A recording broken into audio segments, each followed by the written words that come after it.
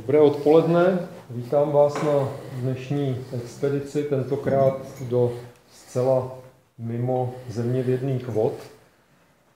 Připomínám jenom, že tomu, abychom pozvali historika, nás motivuje datum příštího čtvrtka, 17. listopadu, kdy uplyne již 27 let ode dne, kdy tady nastaly události, které nás náš stát zapojili do té mozaiky toho, co se ve střední Evropě odehrávalo. A eh, protože jsme právě na to chtěli, eh, chtěli si to připomenout nějakou přednáškou, která by se tomu tematicky blížila, tak jsem se obrátil na pana profesora Jiřího Peška, kterého tady tímto vítám, a on nám navrhl on nám navrhl to téma které vás sem, eh, předpokládám, že to bylo teda nejenom osobnost pana profesora, ale i to téma, které vás sem přilákalo. Eh, Patřím k nejtěžším českým historikům.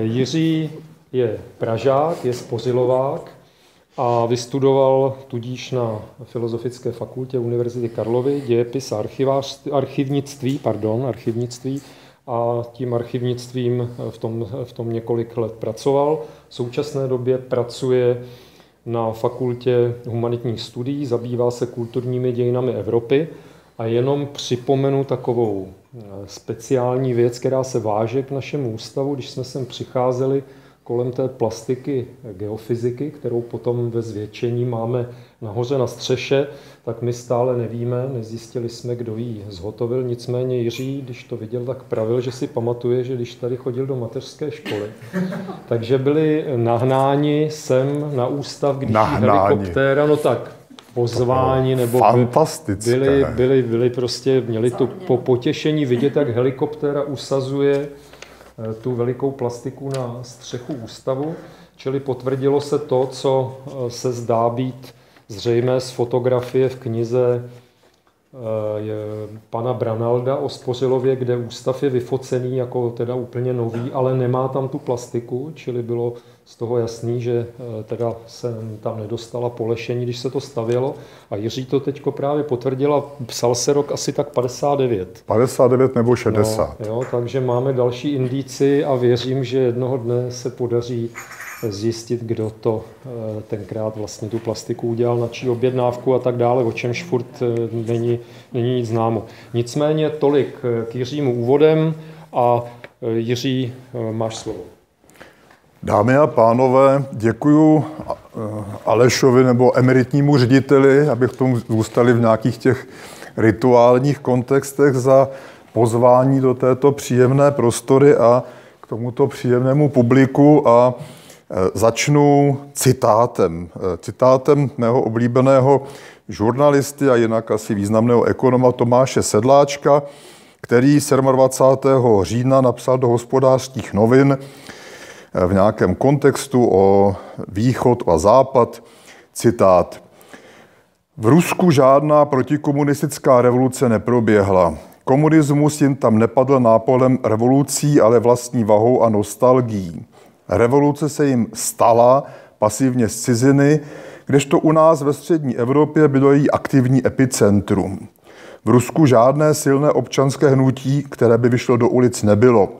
Což je tedy pro Rusy dost škoda, protože aktivně se zbavovat totality, násilí, vydírání, své volné mstivosti mocných, odporných lží v přímém přenosu, pokřivení hodnot a mlčícího strachu byl jeden z nejsilnějších a nejhlubších zážitků, které jsem v životě měl. Tolik Tomáš Sedláček, je ekonom, je myslitel, ale eh, hold není historik, ono to možná vypadalo všecko malinko jinak. Eh, my si připomínáme významné výročí a velmi často nebo zcela standardně hovoříme o vlastně interních otázkách, o tom, co se dělo v Praze, co se dělo v Čechách, eh, co tomu předcházelo ze strany dizidentů, eh, jakým způsobem se to všechno vyvíjelo a svým způsobem se možná i utvrzujeme v tom, a ještě víc možná tehdejší studentská generace, že jsme svrhli komunismus, že jsme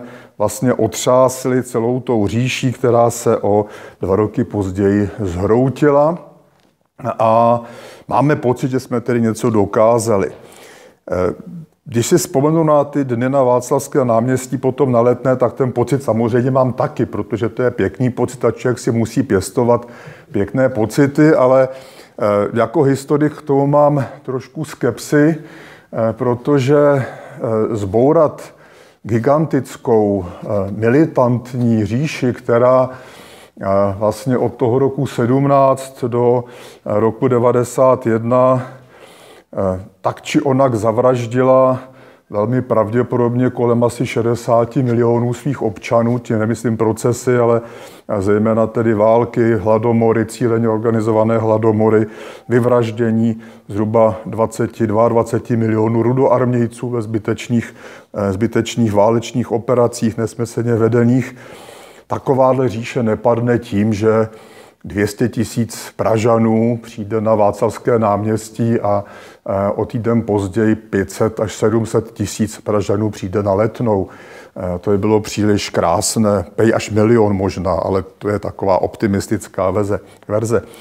Eh, čili jak to vlastně s tím sovětským svazem bylo a jak to bylo i s tím, že dovolil po všech těch brutálních zásazích proti národním nebo státním pokusům o revoltu, Eh, ať už šlo o Poznaň nebo o Budapešť 650, ať už šlo o Prazu 68. Eh, eh, tam vždycky nastoupila armáda a urovnala veškeré problémy za pomoci tanků. Jak to, že najednou proběhla tady ta, ta série revolucí, která Eh, která skončila komunismus a která skutečně převedla eh, celý to, celé to prostředí, celé to ohromné impérium do úplně nového stavu, který dneska není utěšený, ale který při nejmenším v 90. letech vypadal velmi příjemně. Eh, o tom samozřejmě se vede mezinárodní velká debata. Musím říct, a já jsem jeden z mých takových oborů je Eh, výzkum eh, dějepisectví soudobých dějin v Evropě. Eh, čili mě zajímá, co se zkoumá, jak se zkoumá, kolik se toho zkoumá, jak jsou ty národní historiografie orientované, jestli spolu komunikují, jestli spolu nekomunikují, jestli sdílí své výzkumy, anebo jestli sdílí své omily. A v tomto rámci jsem se také vlastně k tomuto tématu nějak dopracoval a mohu říci, že ta diskuse, která u nás vlastně není příliš tematizovaná ani v odborných historických kruzích, eh, mě neuspokojila. Eh, vlastně to hledání důvodu, proč se stala tato zásadní změna konce 20. století, ustrnulo v jakýchsi takových eh, na půl cesty prostě úvahách, které mně nepřipadaly dlouho příliš racionální, ale které putovaly z jedné knihy do druhé, citovány a tak dále. A vypadalo to zhruba tak, jak říká Stefan Plagenborg, což je profesor eh, ruských dějin předtím v Marburku a nyní v Brémách, eh, který napsal, že se vlastně sovětský svaz zhroutil vzhledem k tomu, že byl příliš sociální že prostě, když si člověk vezme, jaké výhody dával svým občanům, a konkrétně třeba, že se takový kolchozník prostě mohl vodněkuť prostě eh, z Ukrajiny nebo ze střední Asie koupit za pár šupů letenku, letět si na eh, nějakou výstavu do Moskvy a zase vrátit, to, že prostě nešlo ufinancovat. Eh, k tomu ještě, že Sovětský svaz financoval ten prstenec svých satelitů a to samozřejmě, že vzhledem k tomu, že Polsko, Československo, Maďarsko a tak dále, Bulharsko nefungovaly, to, že prostě taky nešlo ufinancovat. Hovoří se o tom, že ta levná ropa a levný plyn eh, ve finále na konci 90. let, že vlastně tyto satelitní státy dlužily Sovětskému svazu asi 40 miliard dolarů a to, že prostě byl katastrofální stav. Spojené státy mají vnitřní zadlužení ve výši dvou tisíc miliard dolarů a fungují spokojeně dál, dovolí si nejrůznější excesy, čili ta, ten 40 miliardový balík asi není rozhodující pro zhroucení gigantické velmoci, která investovala stovky miliard do svých, do svých zbrojních programů. Nastupuje proto další alternativa, která bývá zmiňována, která je vlastně taková ze západu dodaná, hrdinská, že projekt hvězdních válek Ronalda Reagana, to znamená ty satelity a vlastně laserové zbraně a vyřazení, vyřazení eh, obrany a eh, znemožnění potom hlavně vyřazování balistických raket za letu, takže by Amerika nebyla napadnutelná, nebo dokonce západní část Evropy nebyla napadnutelná atomovými zbraněmi. To, že vyvolalo takovou nutnost zbrojení, že Sovětský svaz to už nemohl utáhnout a opět následovalo zhroucení. To sice je taky pěkné, ale nějak to zase neštimuje s tím, co se reálně dělo, protože eh, to prostě eh, to prostě tak nebylo, protože prostě to, to hroucení začínalo nějakým způsobem jinak a nemělo charakter e, soustavného odčerpávání do e, této garnitury zbraní. Hlavně pro tuto garnituru zbraní de facto Rusko nebo Sovětský svaz už plně nevyvinuli, natož potom, aby ji rozvinuli do skutečně operačního nasazení, které by stálo neuvěřitelné peníze. To znamená, co tedy vlastně? Eh, nezbývá, než se obrátit eh, k badatelům, kteří neskoumají obecně eh, problémy Evropy a světa, ale kteří jsou odborníky přímo na dějiny sovětského Ruska, sovětského svazu. Zmínil bych dva klíčové ze starší generace dnesních sedmdesátníků. Je to gettingenský profesor Manfred Hildermayer, který napsal takhle tlusté dějiny Sovětského svazu už v roce 2000. A nejnověji vyšla taky takováhle úctyhodná syntéza dějin jenom Ruska eh, ve 20. století od freiburského profesora Dietmara Neutace, která je podle mých aspoň znalostí protože mi to téma konec konců zajímá dlouhodobě, eh, je asi nejsolidnější eh, analýzou těchto, těchto věcí, analýzou vůbec vývoje Ruska, vývoje ruské společnosti, s tím, že cíleně redukoval jak Hildermayer, tak Reutac ty mezinárodní vztahy a události, minimalizoval mezinárodní politiku, minimalizovali popisy velkých a slavných bitev a soustředili se na to, co se dělo uvnitř Ruska, co se dělo ve své ve ruské společnosti. A obraz, který podávají, který načetl už tedy před těmi 15 lety Hildemajera, který teďka vlastně před třemi lety podal Neutac, hovoří o něčem, co vypadá důvěryhodně, ale co vlastně klade eh, to, to, to zhroucení až na konec dlouhého vývoje, přinejmenším od konce druhé světové války. Po válce, eh, bezprostředně po válce obnovil Josef Stalin opět režim jednak hrůzy a zatýkání, opět se popravovalo, opět se plnil gulag. V roce 51-52 začal ruský holokost, čili eh, velké cílené tažení, které mělo za cíl vyvraždit, vyvraždit eh, sovětské židy, které se už naštěstí úplně nerozjelo na plné obrátky, protože diktátor 8. března 53 umřel. Eh, po něm po mocenských bojích přebírá svoji, vlastně tu, to žezlo přebírá Nikita Chruščov, jeho dlouholetý souputník, také hromadný vrah, jednak takový ten vrah, co formálně podpisoval ty masové popravy a jednak skutečně za svého mlada jako moskevský tajemník partaje, když se v 30. letech vedla vedla kampaň proti asociálním živlům a každé velké město dostalo kvótu, kolik smí těch bezdomovců a bezprizorní mládeže a podobně popravit, tak Nikita Chruščov si vymínil zvýšení kvóty na dvojnásobek, takže Moskva, myslím, potom mohla místo 3 tisíc popravit asi 6,5 tisíc lidí.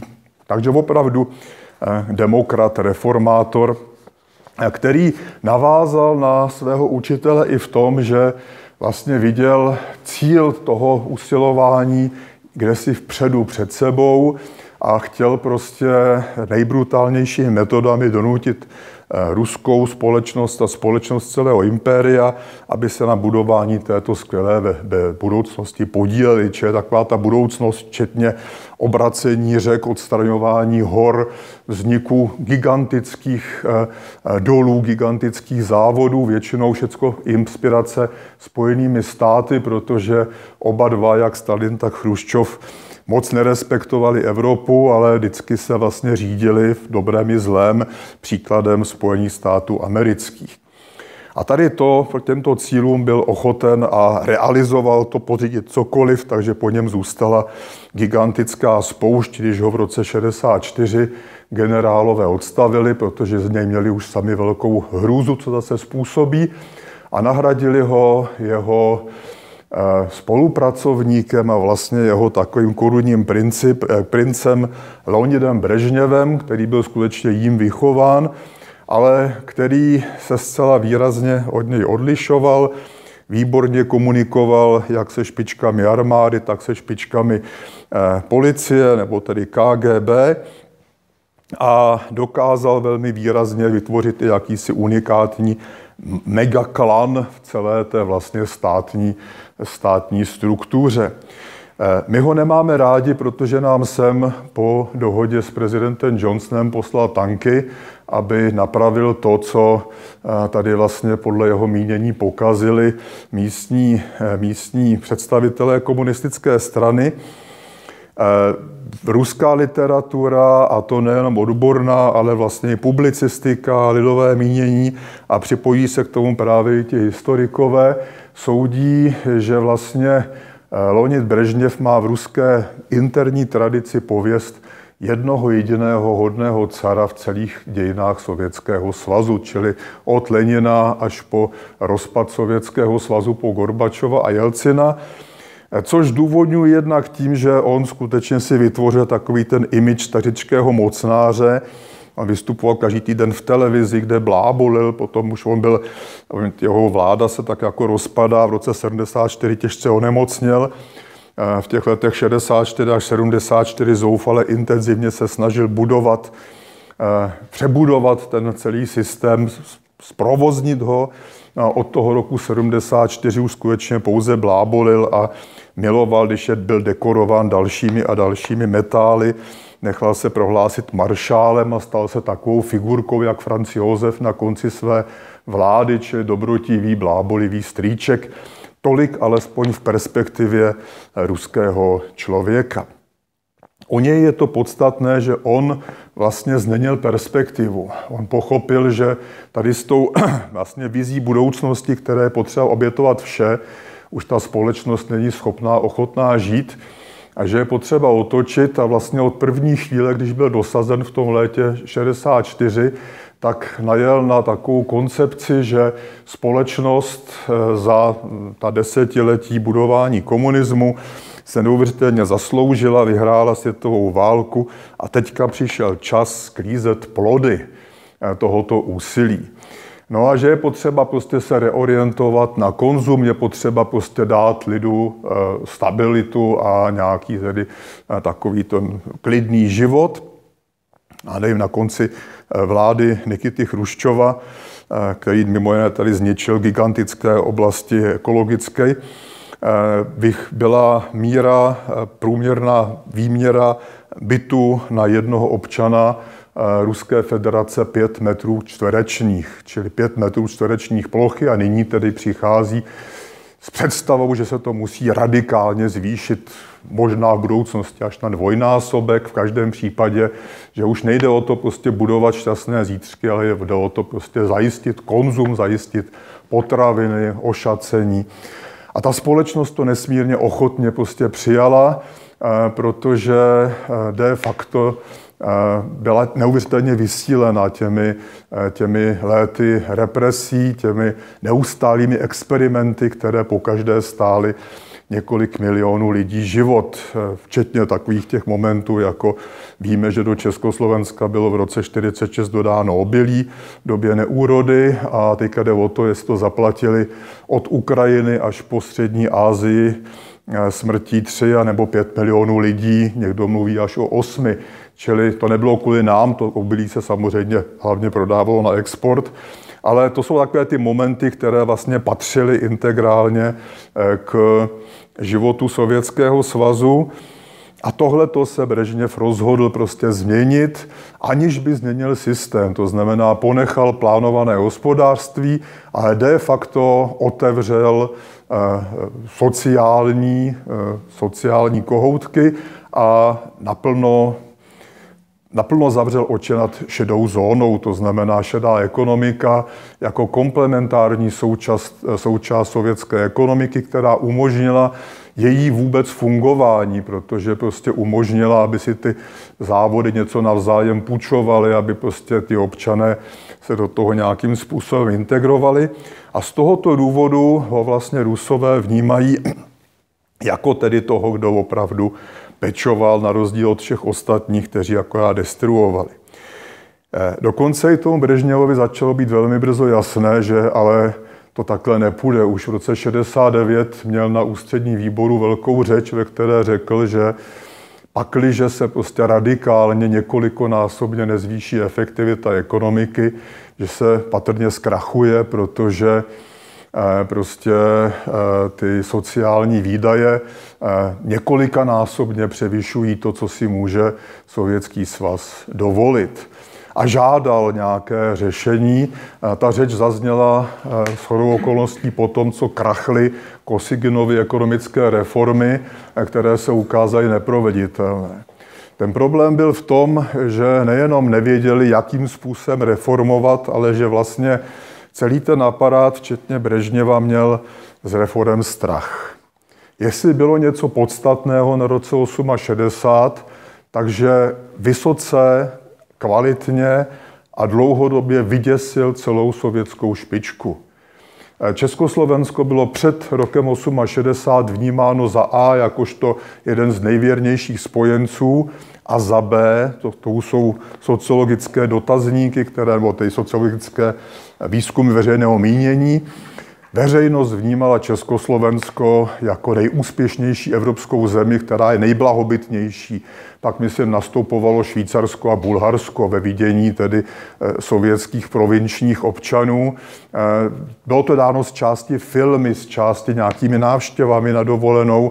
Prostě bylo to úplně absurdní, ale měli představu, že jako jestli se někdy jim má vést dobře, tak by se jim mělo vést dobře, tak jako v tom vzorném státě Československu. Tady ty výzkumy pocházejí plus minus z roku 64-65, kdy byly také z části publikovány, z části byly eh, zakázány a jsou vlastně jako interní výzkumy Akademie věd Sovětského svazu. A teďka tam najednou přijdou reformy, které z hlediska Kremlu destruují cokoliv a které prostě jsou exemplárním úkazem toho, že prostě reformy jsou jedině prostě přezvěstí konce, že prostě eh, reformy jsou absolutně ďáblův, ďáblův vynález a že takhle ne. Tady ten československý případ děsí sovětské reformátory až do konce 80. let, až do perestrojky. Je to něco, co opravdu blokovalo snahy o změnu toho vnitřního chodu eh, Sovětského svazu zcela zásadně. A eh, my to nedokážeme docenit. Je zajímavé, kolik je k tady těmu dneska ruské literatury. Eh, mimochodem, ruský výzkum sourových dějin je taky něco, co v této zemi naprosto uniká pozornosti, když tam vznikají jednak naprosté strašnosti, ale vedle toho zcela zásadní, rozsáhlá kvalitní díla, která přinášejí zcela nové poznatky a zcela nové interpretace. To znamená, tato, toto vědomí dvojitého, na jedné straně, že to je k nezaplacení a že se to prostě nedá udělat, protože v tom roce 69 ten Brežněv tam říká, eh, že dává ruská, eh, že dává sovětský svaz na podporu cen eh, mléka a masa asi 9% hrubého národního produktu, což je daleko víc, než je schopna investovat vůbec do inovace, do modernizace zemědělství a že to prostě nejde, ale zároveň, že z toho nejde couvnout, protože když zmizí i ta trocha mlíka a masa, tak ta společnost, ten, ten koncens teda opravdu vypoví a zároveň prostě vědomí, že s tím nějak něco nejde dělat.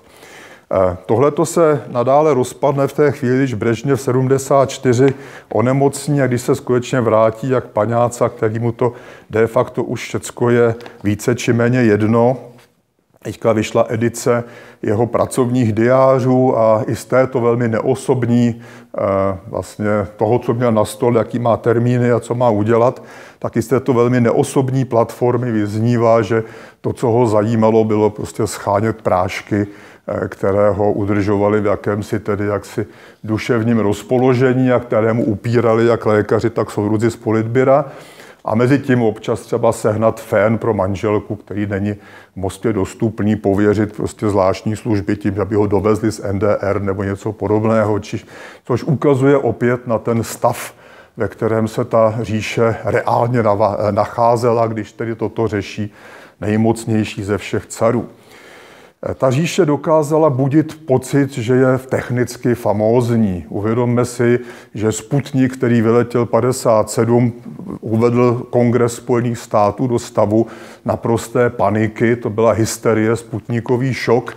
A když v roce 60 letěl Gagarin, tak to už prostě bylo něco zcela zásadního. Následovalo přebudování amerického vojenského komplexu z části americké ekonomiky, ale flexibilní. Tam ten moment, že ta, vlastně to, co se vybádá, to, co se aplikuje na kosmický výzkum nebo i na vojenský výzkum, se obratem vrací do průmyslu, příkladně třeba diskety a tady ty věci.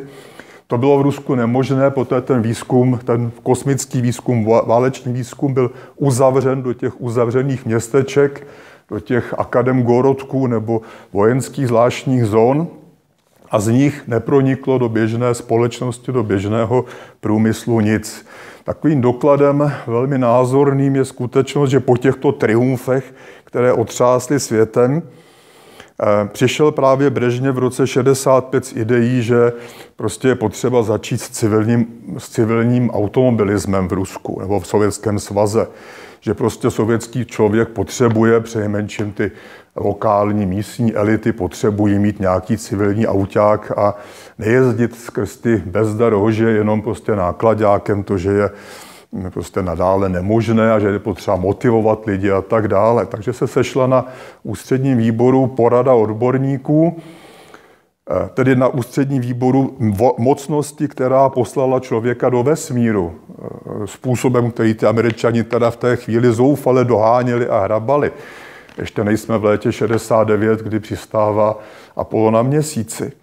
A tato odbornická porada došla k tomu, že sovětský automobilový průmysl není schopen vyrobit relativně únosný, aspoň trošku tomu západnímu eh, autu se podobající výrobek a že jediná cesta prostě vede k tomu eh, koupit západní licenci, což se i stalo a na Volze byl postaven závod Fiatu, který potom vyráběl, že ho všem nám dobře známá vozidla.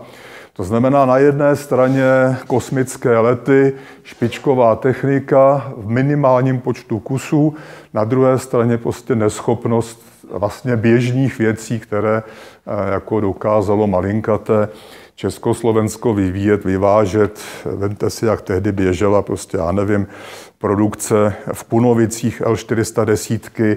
Vyvezli jsme do Sovětského svazu, já nevím přesně, ale mám pocit asi 17 tisíc eh, větroňů bladník jako školních letadel. Vyváželi jsme L29 ve velkém, to znamená skutečně malinkatá zemička dokázala něco, co bylo pro, eh, pro tu velikou zemi, která lítá do kosmu, nerealizovatelné. Ale co bylo nejhorší, tady ten vlastně stav se radikálně začal prohlubovat v 70. letech. Začaly problémy se zásobováním, začala se dramaticky zhoršovat zdravotní situace obyvatelstva. Já k tomu potom ještě něco řeknu k 80. ale to dramaticky je teda velice slabé slovo, které si možná jako středoevropané, pak když někdo z vás nebyl v té zemi, kam jsem nikdy v životě nechtěl, ale tím mě chybí zkušenost, tak, tak kde to teda všechno vypadalo trošku jinač. Giganticky se zhoršovala ekologická situace, včetně degradace celých regionů. Rostl ohromným způsobem alkoholismus a vlastně ta společnost se začala vnitřně rozpadat. A k tomu si generálové z důvodů eh, asi prestižních a já nevím jakých prosadili v roce 79 invazi do Afganistánu, což se původně zdálo být jako malá, elegantní akce, která eh, se rozrostla a která, než byla definitivně ukončena v roce 89, stála sovětský svaz 15 tisíc padlých, 10,5 tisíce eh, zmrzačených a na druhé straně to stálo dva, až 2 miliony afgánských civilistů život, což sice mohlo být ruskému občanu jedno, ale ti, kdo se vraceli, i byť i nebyli zmrzačení, byli tím psychicky velmi těžce postiženi po té to, co zača, zažili, eh, ty masakry a ty všechny prostě hrůzy eh, otřásali jejich rodinami a tato invaze byla jedním z těch momentů, které eh, jednak byly drahé, ale vedle toho vlastně měly velice výrazně rozkladný charakter. A v této situaci Brežněv umírá, je nahrazen eh, nejprve Andropovem, čili stařičkým mm, bosem KGB a po něm přichází Černěnko, což je sice z té konzervativní části aparátu, ale opět je nakrátko oba dva carové vlády vlastně převážně z nemocnice. Oba dva nastupovali ve stavu, který byl silně neutěšený a velmi brzy v obou případech následovalo, následovalo, následovalo hospitalizace a vlastně už jenom formální, tedy vykonávání úřadu. A tady se setkáváme s mužem, který se v roce, v roce 1931 narodil vlastně v Jižním Rusku, tam severně od Kavkazu, a který bude hrát v tom vlastně velkém příběhu, doufám, že se moc nezakecávám, klíčovou roli s Michalem Gorbačovem. Narodil se 31 a vlastně jako miminko a malý, malé dítě zažil jeden z těch nejstrašnějších hladomorů, při kterém ten hladomor, vůči němu se vymezují, vymezují Ukrajinci, kteří tvrdí, že to byl politicky řízený hladomor k vyvraždění Ukrajinců čemuž oponuje ruská historiografie tím, že to tak nebylo, protože to byl hladomor určený k vyvraždění daleko širších eh, částí obyvatelstva, protože zasahl i jižní Rusko, to severně vlastně mezi, mezi až, to, až do té oblasti mezi Uralem a, a Kavkazem. A dokonce byl použit, a to takže cíleně, k decimaci, respektive decimace takové decentní slovo, to je každý desátý, asi k snížení asi o třetinu nebo dokonce až na třetinu, říkají některé odhady, počtu obyvatel Kazachstánu. Čili počet těch mrtvých se odhaduje na 8 milionů. Eh, zcela konkrétně tři z těch mrtvých byli příbuzní Michaila Gorbačova a jeho vesnice ztratila půlku obyvatelstva, takže pro něj to bylo vlastně celoživotní trauma, které od toho dětství sobě nesl a které nad části i motivovalo a nějak tak poznamenávalo jeho Eh, jeho celoživotní zájmy. Vystudoval práva, stal se profesionálním funkcionářem a jako profesionální funkcionář postgraduálně vystudoval zemědělský management a považoval se, přiznejme si, podobně se za to považoval Nikita Chruščov za odborníka na zemědělství. To znamená na tu klíčovou zásadní vlastně část Eh, národního hospodářství, protože prostě dokud lid nedostane aspoň trochu najíst, tak prostě je to nestabilní a eh, hrozí nejrůznější, eh, nejrůznější výstřelky. Nehledě k tomu, že vždycky se alespoň část toho obilí v Rusku spotřebovávala na pálení samohonky, čili i tento motivační moment je v, ruské, v ruských dějinách, v ruské psychice velmi podstatný.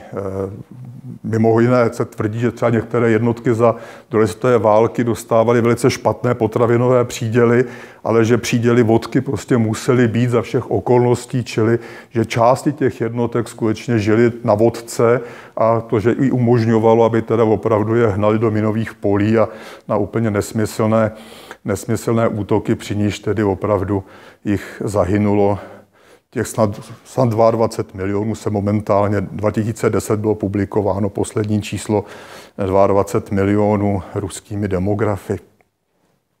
Čili Michal Gorbačov přichází v roce 82 jako důvěrník a nejbližší vlastně zástupce, nejdřív Andropova a potom, i když Černěnko byl protihráč Andropovův, tak eh, přichází jako opět zástupce Černěnka, čili de facto od roku 82 vykonával prakticky vedení Sovětského svazu.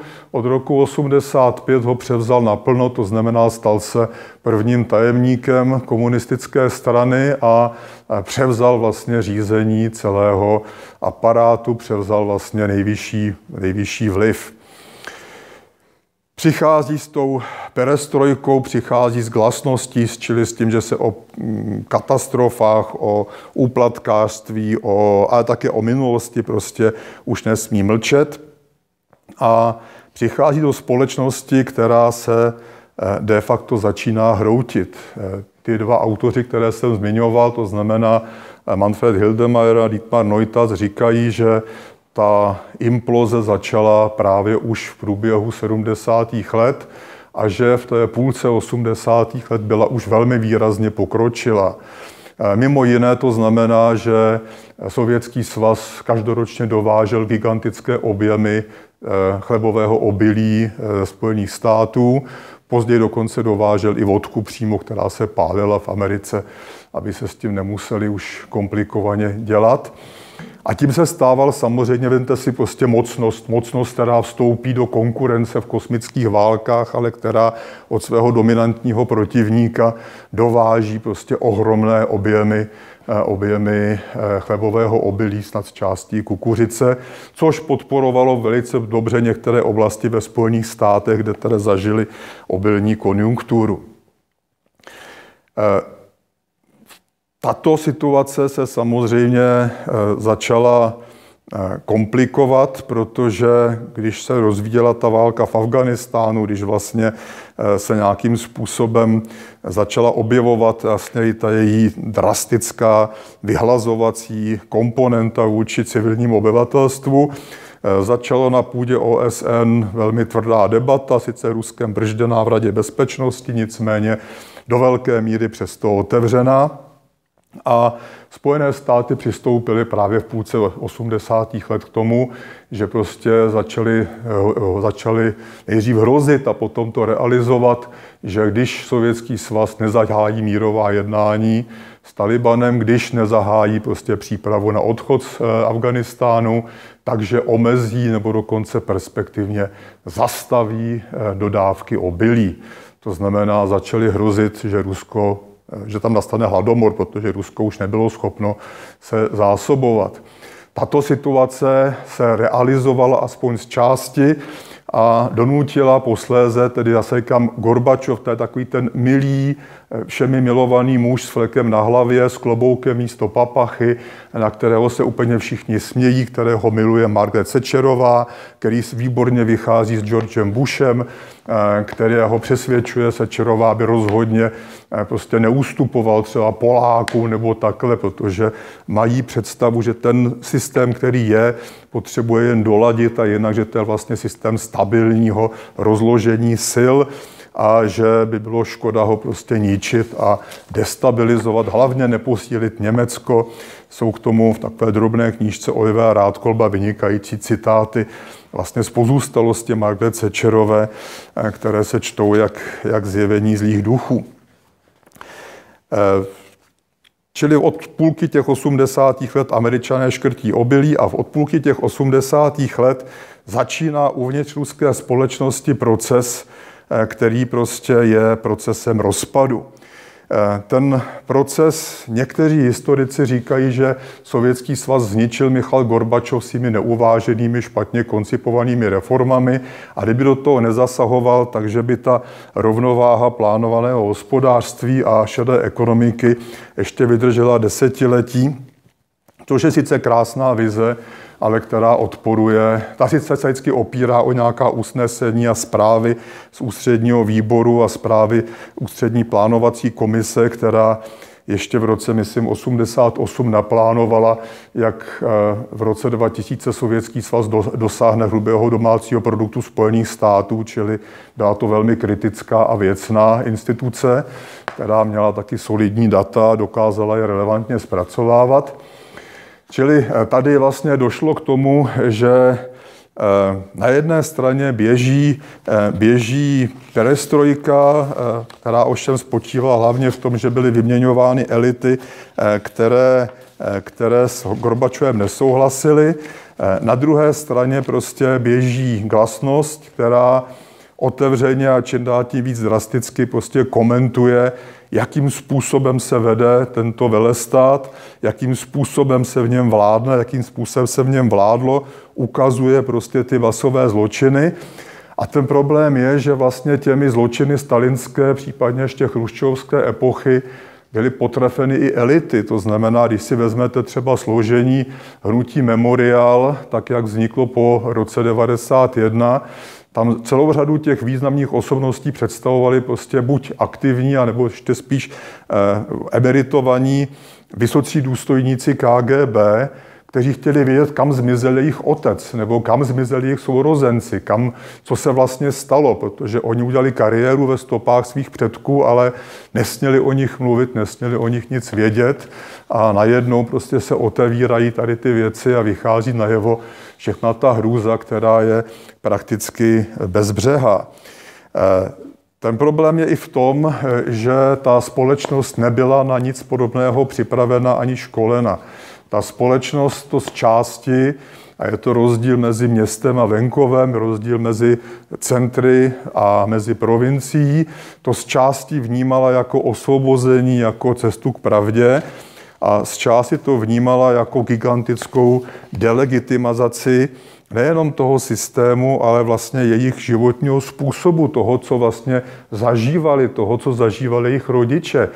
O to, proč umřela maminka, proč tatínek padnul a najednou se ukazuje, že to je zbytečné, že to vlastně bylo všecko špatně, že to nemělo smysl, že ta společnost nebyla schopná se identifikovat s tady těmi změnami.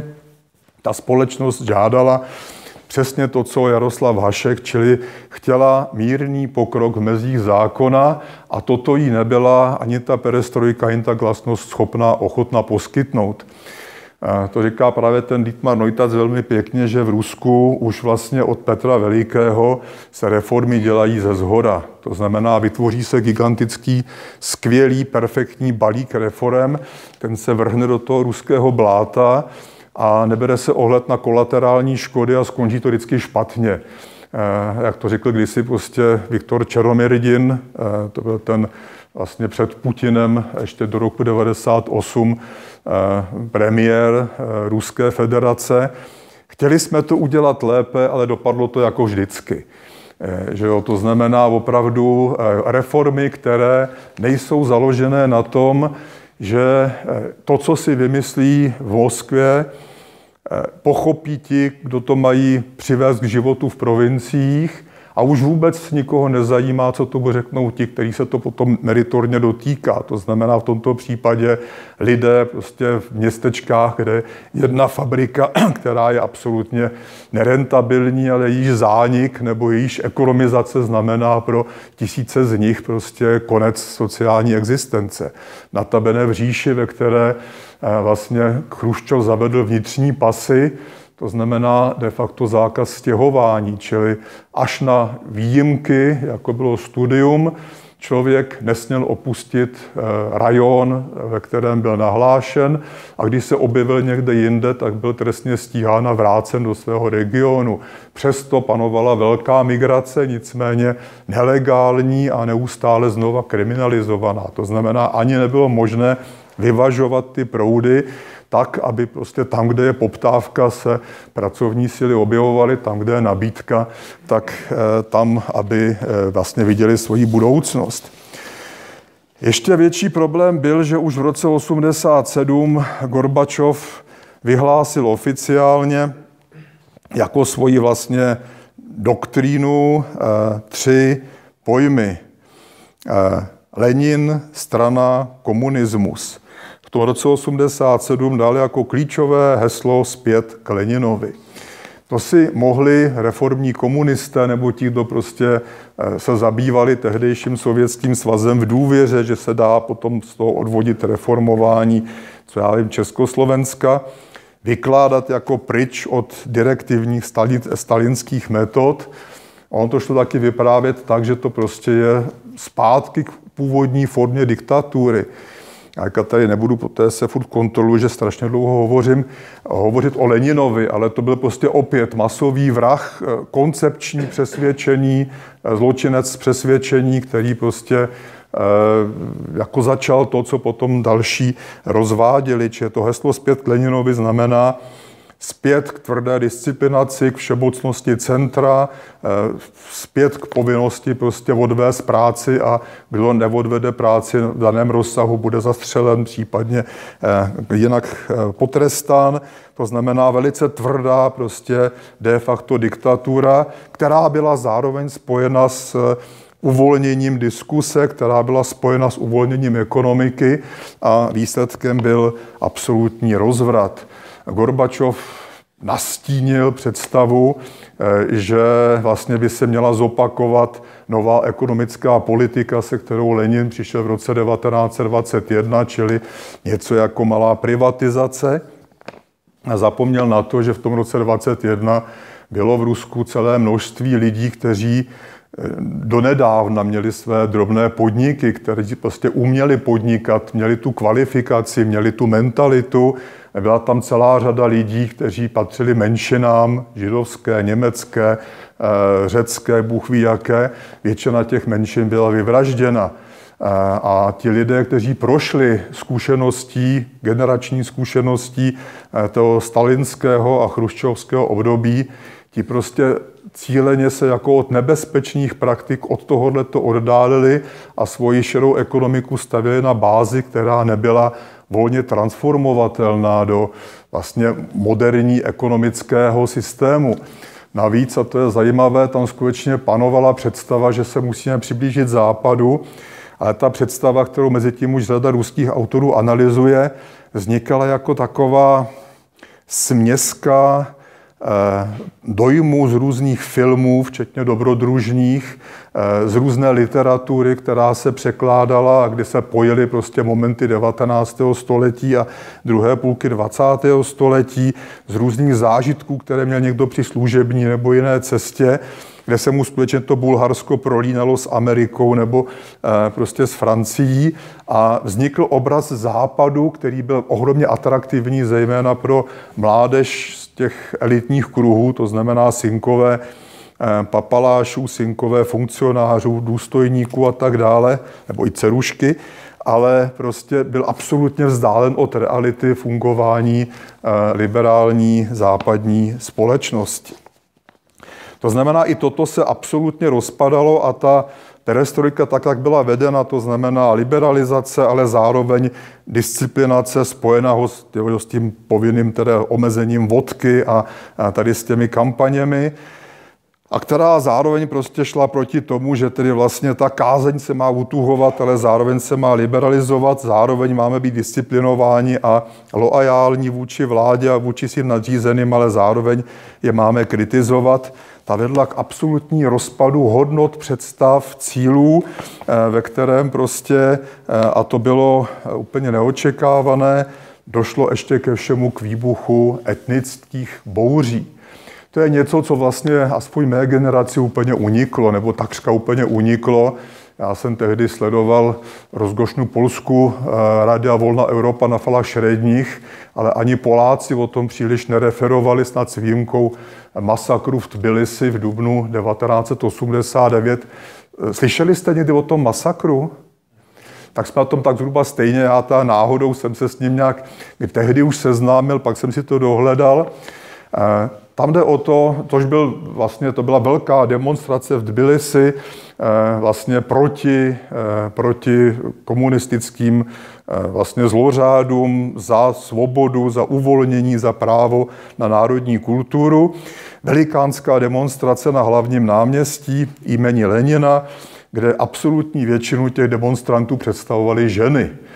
Eh, když to nemohli zvládnout, eh, ty eh, orgány určené k tomu speciálně, tak požádali patriarchu, tbiliský patriarcha promluvil k těm ženám a ženy se odmítly prostě rozejít, snad stovky tisíc demonstrantů, hlavně té demonstrantek a v té chvíli byla povolána parašutistická divize eh, generála Igola Rodionova, což byl šéf zakavkazského vojenského okruhu s jasným úkolem posvěceným Moskvou, tedy v poslední instanci přijemečně z odpovědností Gorbačova, toto zlikvidovat.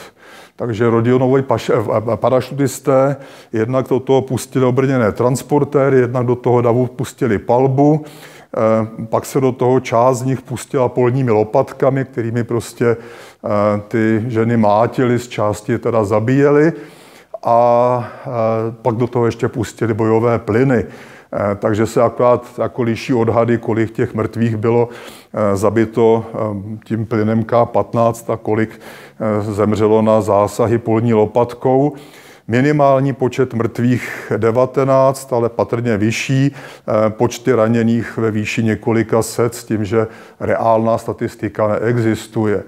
Eh, čili otřes, který samozřejmě prošel i hned celým sovětským svazem, ale který byl jenom součástí tohohle toho. Byla to součást něčeho, co Gorbačov absolutně podcenil nebo si to neuvědomil, nereflektoval, ale najednou v půlce 80. let začali nikoliv lidé od spodu, ale dokonce partajní sekretariáty jednotlivých svazových a autonomních republik poukazovat na to, že v ústavě z roku 1977 je zakotvená suverenita svazových republik teoreticky až do odtržení. A od roku 1988 začaly svazové republiky tuto suverenitu respektive samostatnost eh, deklarovat, to znamená zase nikoli od spodu lidové hnutí, ale vlastně ty aparáty a začali ji vlastně deklarovat s tím, že by měla být nejen deklarována, ale i přivedena v realitu. To znamená v té nouzi, zásobovací, hospodářské nouzi, začali preferovat nebo začali deklarovat to, že je prostě potřeba, aby se tyto, tyto republiky osamostatnily, zatím nikoliv, aby vystoupily ze svazku Sovětského svazu, aby se osamostatnili, aby jejich legislativa dostala přednost před celosvazovou legislativou a aby zejména přešla hospodářská a zásobovací agenda do národních rukou, do rukou národních vlád. Začali s tím jako obvykle prostě Estonci, Lotyši, Litevci, ale velice rychle to přeskočilo ku podivu na Ukrajinu, eh, která byla mimochodem od času Nikity Chruščova neuvěřitelně drsně rusifikována a, vlastně snaha udělat z ukrajinštiny, z ukrajinské kultury jazyk a kulturu vymřelého národa, vrátit Malorusy do Velkoruska, jak se tomu tehdy říkalo. A ohromný zájem samozřejmě projevilo celé Zakavkazsko i střední Asie, včetně vlastně těch dneska musulmanských států, kde se ukázalo, že už v 80. letech celá řada významných partajních tajemníků realizovala mnohoženství a samozřejmě navštěvovala moše a podobně, čili tam začala tato věc. Mimochodem velmi logicky, Stalin za války vyvraždil dvě třetiny mužské populace Turkménie, Turkméni odpověděli tím, že prostě hold nasadili, průměrná žena porodí 8 až 12 dětí, když to běží v rychlých cyklech, tak eh, se dokázali namnožit tak, že jich bylo, kolik jich nikdy v životě nebylo, dneska žije v Turkmenistánu. To znamená, tady ten, ta reakce na ty masové, na ty pokusy o, o eliminaci byla prostě e, masová populační vlna a ta byla nesena prostě už v této době islámem. To znamená, to je něco, co je další prostě moment, s kterým si vlastně Gorbačov nevěděl rady. To znamená, v tom roce 88 začíná reálný vnitřní rozklad Sovětského svazu, s tím, že ty lidé zatím skutečně nechtějí eh, to všechno zničit, chtějí to prostě radikálně přeměnit. Já bych to řekl, že to chtějí de facto mm, proměnit v takovou jako konfederaci. my vám necháme zahraniční politiku, necháme vám obranu, když nás do ní nebudete moc vtahovat a necháme vám ideologii a všechno ostatní chceme mít na úrovni republik. Není náhodou, že celá řada těch vysokých stranických funkcionářů přechází na úroveň potom šéfů těch republik. Gorbačův ministr zahraničí Ševarnadze je toho typickým příkladem, který se potom stal vlastně šéfem samostatného gruzinského státu a nebyl, nebyl sám. To znamená, toto je vnitřní rozpad, který prostě zaměstnává to kremelské vedení neuvěřitelným způsobem. Uvědomme si, že v roce 1991 Gorbačov posílá armádu do Litvy a snaží se ty jednotlivé dílčí prostě eh, regiony vojensky podrobit. Přitom, jak teda je mírotvorce, dostal Nobelovu cenu míru, že jo, ale ve vnitřním teda eh, nebyl problém poslat prostě parašutisty kamkoliv a dát jim jednoznačné příkazy. Ale v tom začíná prostě ten rozpad nikoliv jen politický, nikoliv jen mentální, ale ten skutečně fundamentální. Eh, v druhé půlce 80. let se objevují na území Sovětského svazu oblasti, ve kterých více jak polovina žen, někdy až dvě třetina žen, není schopna donosit dítě. To znamená, že až dvě třetiny těhotenství končí spontánním potratem. Je to dáno neuvěřitelnou zátěží chemikáliemi, pesticidy, z části ozářením, je to dáno naprosto nezodpovědnou prostě ekologickou politikou, šílenými experimenty v zemědělství a je to dáno prostě i tím, že nejsou struktury, nejsou peníze na zdravotnictví. Vypůká Všeruská epidemie syfilitidy, která trvá do dneška, je kombinována s epidemí HIV nebo HIV a, a AIDS. To znamená, e, toto jsou věci, které nejsou schopni zvládat. E, vypadává celá řada lidí, protože ten alkoholismus se z takového toho neřádu proměňuje prostě opět ve zdravotní katastrofu, která dramaticky snižuje průměrný věk mužské populace, ku podivu nikoli žen. Ty to nějak snášejí asi lépe, ten stav, takže nemusí tolik nasávat, ale ty muži, de facto se tam, to je jediná země, ať už Evropy nebo širší Evropy, kde došlo k dramatickému propadu vlastně eh, doby na dožití mužské, mužské populace. A do toho hlad, ať už relativní nebo absolutní. V roce 89 zjišťují státní eh, instituce, že ze standardního spotřebního koše, který, do kterého statistikové vkládají 1200 položek, jich tisíc není absolutně k sehnání. Eh, je to situace, ve které prostě ta společnost přestává mít šanci na udržení a ta je ta tady ta, ta, vlastně ta, ta decentralita, tady ta snaha prostě zachránit se pro sebe v rámci republiky, zastavit prostě odvody do centra, přestat platit, přestat exportovat to, co máme a zkusit to někde prodat, abychom koupili potravu, ta se stává prostě zcela zásadní, zásadní komponentou. Eh, kombinovaná zase s těmi politickými procesy. Eh, literatura říká, že tady ty věci vystoupily do extrémních poloh eh, v listopadu a prosinci 1989. Čili je zřejmé, proč v té chvíli skutečně už neměl Gorbačov prostě zájem se zabývat tím, co se děje v Praze, v Berlíně nebo kdekoliv, protože když se mu to rozpadá uvnitř, Eh, tak je to absolutní. Přičemž, a je potřeba říct, eh, toto není jen otázka ostatních svazových republik, toto se dělo i v Ruské federaci. Do jejího řízení tehdy povolal soudruha Jelcina z Čelabinska, který ale velmi rychle vy, jaksi eh, vyhodnotil, co se děje, ostatně podobně jako řada jiných prostě šéfů velkých měst. Sobčak v Leningradě je typický a který prostě se stal jedním z průkopníků prostě likvidace Sovětského svazu ve prospěch Ruské federace ale ta federace má uvnitř řadu autonomních oblastí a prakticky všechny ty oblasti deklarovaly svoji nezávislost, eh, respektive suverenitu s potenciální nezávislostí, opět s cílem udržet hospodářství, zastavit odvody, zastavit prostě kontingenty pro armádu a tak dále. Čili je to něco, co, co je vlastně imploze toho, toho impéria. V této situaci se teprve to podařilo Gorbačovi stáhnout vojska z Afganistánu, čímž i dostal tedy od roku 89 opět tedy eh, ty obilní dodávky, ale trvalo mu to, když si vezmete, že to skutečně, že nastupuje 85, eh, ty američané to v té chvíli tvrdě prostě dají jako agendu na stůl a začnou omezovat dodávky obilí. A on začne tedy vyjednávat pomocí Ševardnadzeho až v půlce roku 88 a generál Lebeď, to je ten slavný generál, co poslední přešel ten most z Afganistánu do Ruska, tak ten to udělal 15. února 89, čili trvalo to prostě tři roky, než se to podařilo zastavit než se podařilo taky teda tím pádem omezit aspoň trošku vojenské výdaje a v té chvíli přichází i program stažení ruských jednotek z Evropy, prostě proto, že eh, to příliš mnoho stojí a že už to není k financování.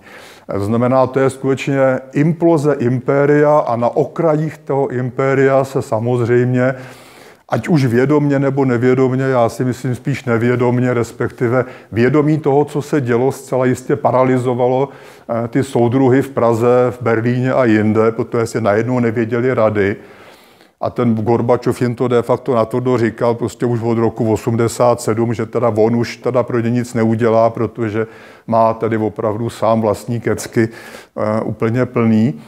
A ty najednou tím nevěděli rady a v této chvíli přichází ten moment, kdy eh, vlastně už to minimálně brzděné, respektive opakovaně brutálními pokusy prostě zasahované, ale už ne konce, už ne v nějakém vlastně velkém plánu a vždycky jenom ad hoc nějaký policejní direktor zase způsobí nějaký masakr, Eh, tak vlastně tímhle tím způsobem se ten celý systém eh, demontuje. Je vlastně symptomatické, že ty občanské války nebo ty skutečně krvavé exibice ty eh, se odehrály v těch zemích, které nebyly přímo navázány na sovětský svaz, či nejdřív Rumunsko, Čaučeskovo, kde se střetly prostě dvě frakce tajných služeb a policie a potom Jugoslávie, která trpěla napětím vlastně už od smrti Josefa Tita. Ale ten vlastní lágr se tedy rozpadl prostě bez těchto efektů, protože ta vůle k nějakému velkému zásahu byla prostě zásadně limitována.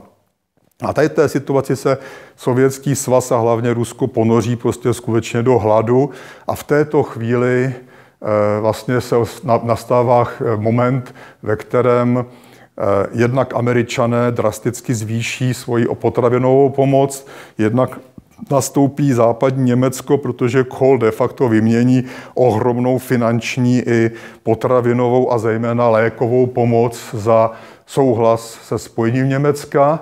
A tohle to všechno ale jsme nějak prostě moc nebyli na vědomí, protože tam už prostě v té chvíli šlo opravdu o to přežít a v této situaci se Gorbačov obrací radikálně k těm konzervativcům. V roce 90 vyměňuje celou tu garnituru reformátorů, dosazuje tam konzervativní špičky staré komunistické gardy, která se v roce 91 pokusí odstavit i jeho, když je eh, na dače na Krymu klasicky a vlastně neuspěje, poté to dělá blbě a vítězem je Jelcin, rozpuštění, zákaz komunistické strany, rozpuštění Sovětského svazu a ruská vlajka, která nahradí eh, Srb a kladivo. Čili to, proč jsem to vlastně takhle vyprávěl, je, eh, abychom si uvědomili, že ten okamžik byl velmi speciální. Je to zhroucení imploze velmoci, komplexní, která už nedokázala vůbec nic, která už nedokázala uživit a nedokázala zaopatřit své lidi, která nedokázala dát aspoň jakoukoliv důvěru. A v té chvíli prostě ty satelity vnitřní a po nich ty vnější Eh, vlastně začínají odskakovat, odpadat a vlastně to všechno běží jak na másle, protože najednou Varšavská smlouva se rozpustí sama, eh, RVHP se rozpustí sama. Mimochodem, eh, takový ty argumenty, jak teda ty Češi, Poláci a nevím kdo až Bulhaři prošustrovali sovětský svaz, Kdyby tomu tak bylo, tak by se potom až do roku 2002 neřešil přebytek českého účtu v bance RVHP, který nakonec dořešil soudruh Zeman, který za to dostal několik vojenských letadel a vrtulníků a s nadzbytkem prostě velkoryse mávnul rukou v rubašce. Eh, tam ty přebytky těch satelitů byly veliké a vedle toho ještě byla celá řada komodit vojenských, eh, lékařských, nevojenských, eh, které se dodávaly bez proúčtování, prostě na základě rozkazů převedení celých výrob, odvodu celých rozsáhlých vlastně palet výrobků bezplatně do Sovětského svazu. Konkrétně to vím třeba z lékařského výzkumu o očkovacích látkách v ceně teda mnoha miliard. To znamená, ta velmoc vyžírala i tyto satelity a tvářila se jako, že eh, je živý a bohužel velká část amerických a i západoevropských badatelů prostě protože není přístup od roku 2002 eh, k těm archivním materiálům nebo je velmi limitovaný, tak velmi dlouho se bavila a baví tím, že prostě čte eh, zprávy, které si dává eh, špička komunistické strany, které postělají centrální orgány a věří jim. No ale prostě komunistické vedení lhalo vždycky i samo sobě a e, prostě je to de facto naprosto e, iracionální. Problém je, že dát to dohromady nějak exaktně e, je jedna gigantická práce, nevím o nikom, kdo by se toho odvážil a jednak to znamená opravdu teda gigantické mezinárodní týmy, které by to propracovaly. To znamená, je úplně unikátní situace, a to, co jsem ještě zapomněl, samozřejmě hlava Dubová, nezlobte se na mě, mimo jiné to bylo i způsobeno tím, že na počátku eh, vlastně 80. let po překonání druhého ropného šoku se cena ropy opět snížila, to znamená až 180 dolarů padla ke 40 dolarům, něco podobného, co jsme zažili v minulých letech. A eh, jak známo, ruský rozpočet se dá sestavit jen tehdy, když se cena ropy a na ní navázaného plynu pohybuje kolem 80 dolarů za barel. Eh, se započítáním inflace, to znamená ve stálých cenách. To znamená, když ta cena byla poloviční a zůstala poloviční až do roku 97, tak to prostě nešlo z ničeho financovat, čili třeba i ty léky se přebíraly z té NDR bezplatně. Čili skutečně zhroucení velmoci unikátní v okamžik světových dějin unikátní okamžik, který nám umožnil, abychom se tedy poměrně levně a bez lidských obětí eh, dostali tam, kde bychom chtěli a myslím si, že i měli být. Mluvil jsem asi moc dlouho, nezlobte se na mě, je to konec.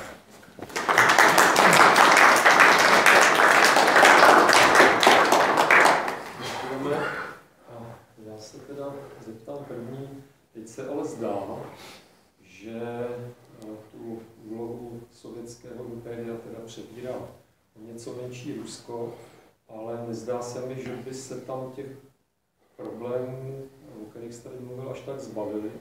A přitom to vypadá, že ta podpora společenská díky vzdělovacím prostředkům a tak dále, který ale tenkrát taky měli monopolní k dispozici, že tam teď je, tak jak, jak to si vysvětlit? A, a ropa je teda velmi nízko. No, ropa byla v létě, nebo na začátku létě na úrovni 29 dolarů za barel, eh, což je pro Rusko absolutně devastující. Padly i ceny některých dalších nerostů. Ta ekonomika má ten problém, že je za, za, založená na exportu surovin a není schopná eh, importovat, exportovat cokoliv, co by mělo nějakou cenu. Eh, já nejsem ani politolog, ani expert na Rusko eh, současné, akorát, že to člověk sleduje s trochou zájmu. Eh, já si myslím, že se vrátili do stavu těho stalinského teroru. To znamená, de facto všichni, kdo chtěli alternativu, jsou buď mrtví, nebo zahraničí, nebo v lágru, nebo mají absolutní hrůzu z toho, co je. A společnost, která se snažila ještě před rokem dva demonstrovat alespoň při zavírání nemocnic, při zavírání klinik. Poté se zhroutilo aktuálně ruské zdravotnictví. Nikoli v samo o sobě, ale prostě stát, který potřebuje na vojenskou expanzi, eh, tak prostě radikálně se škrtal především zdravotnictví a opět teda i potraviny.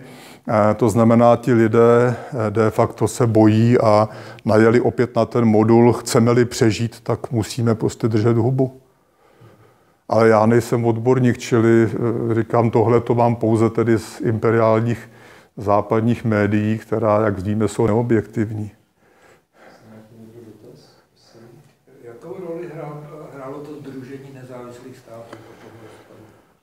Eh, já myslím, že velice malou, protože eh, se zdálo, eh, že si i ti diktátoři typu Lukašenka nebo těch středoazijských snaží zoufale zachovat samostatnost, ale zhruba ty před těmi dvěmi roky to přešlo do té nové.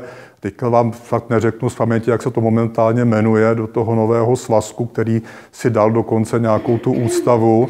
A kde to teda bylo opravdu teď, Euroazijský svaz nebo tak něco a tam opravdu je teda natvrdo naveleli, přičemž třeba Lukašenko se tomu do dneška zoufale brání eh, a to opravdu není ani v nejmenším sympatický člověk.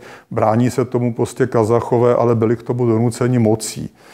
To znamená, je to prostě snaha opravdu expandovat a je to snaha překrýt prostě jakékoliv problémy vždycky, eh, vždycky eh, nějakým vojenským prostě nebo mocenským zásahem je úplně klasické, že všechny eh, ty exemplární případy z teroristy se vždycky dějí před volbami a nikdy to z těch teroristů nikdo nepře, ne, nepřežije, aby mohl vypovídat před soudem vždycky je potřeba všechny zlikvidovat, aby tam nebyly svědkové. To znamená, oběti i, oběti i teroristé bývají vždycky do posledního vyvraždění. Čili eh, ta zlá myšlenka, že to organizuje FSB, eh, asi není zas tak úplně nepravdivá. Čili je to skutečně extrémní teroristický režim, který se drží vnější expanzí, eh, která na ta bene prostě tomu dává oprávnění. Tady by šlo asi prostě vést srovnání k Hitlerovu Německu, k fašistické Itálii a takhle. Když není na chleba, tak aspoň vítězství. Mám teda jenom jeden komentář a ještě dotaz. Já jsem byl právě v Moskvě a v Tbilisi ještě v září 89 a můžu jenom potvrdit, co jste říkal, že jsem měl balík peněz a v podstatě byl problém, vůbec něco koupit a ten balík peněz jsem přivezl domů, protože prostě všechno bylo prázdné. A máš ho teďka? Mám ho teďka. a, to, a e, pamatuju se velmi dobře tu takovou situaci v Tbilisi. Jo. To byla jedna demonstrace za druhou a opravdu po všech, které byly ozbrojené síly. Byl jsem rád, že jsem z toho Tbilisi pocestoval do Moskvy. To je teda jenom poznámka. A potom dotaz. Eh, vy jste tady zmínil na začátku jakousi dohodu eh, mezi, eh, mezi Brežněvem a, a Johnston. A. Ano. Vy jste aspoň krátce já jsem o tom slyšel už dříve s tím, že se všichni, kdo se tím zabývali, to báli publikovat. Petr Luňák, autor docela zajímavé knihy Západ a nevztahy, vztahy mezi Amerikou a západní Evropou za studené války. To měl jako habilitační přednášku a na radu ministerstva zahraničí odmítl publikovat. A nyní jsem se s tím setkal u toho Nojtace, kde jsou z toho záznamy. To znamená, tam skutečně oni vznesli otázku na Brežněva. Ten, ten vyslanec v Americe se jmenoval Vod Dobrinin, Dolgoruky nebo takový něco.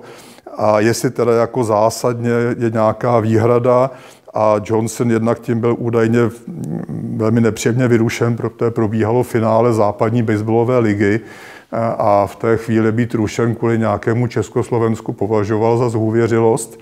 Jako Johnson byl vynikající prezident, velký sociální reformátor, ale zahraniční politiku považoval za zvrhlost, na kterou má lidi a s kterou nemá být rušen, takže pouze jako dal najevo, eh, Nejdřív jako vůbec, že je mu to úplně jedno, potom ho Kissinger snad eh, jako přesvědčil, že jako prezident Spojených států si něco podobného nemůže dovolit, takže eh, potom sformulovali jakousi notu, že je to sice nepěkné, ale že to je vlastně uvnitř eh, systému, takže to vlastně není něco, co by měla Amerika tematizovat.